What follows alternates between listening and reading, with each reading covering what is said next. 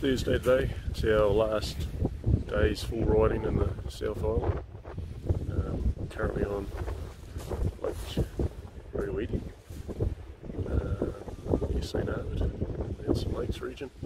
Made our way up from Hanmer this morning, um, and we're going to take a bit of a long, ticky tour all the way around, back around to Picton, and maybe do a couple of little uh, tours around there as well, look for some interesting stuff. But um, yeah, it's really nice here.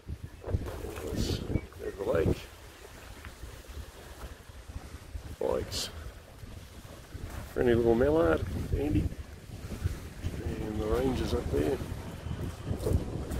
It's turned to a nice day. There was uh, snow on the tops this morning when we were coming through uh, before Murchison.